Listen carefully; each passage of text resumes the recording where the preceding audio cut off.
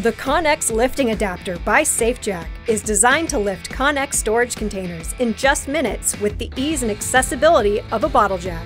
When your Conex container sits on uneven ground, it can lead to issues with correct operations and sealing of the doors. With a 20-ton bottle jack handy, you simply install the Conex lifting adapter into any of the standard corner casting connection points on the side or front of the container. You then rotate the adapter a quarter turn, place the bottle jack underneath, Extend the screw until it's snug, then you can safely begin lifting to your desired height.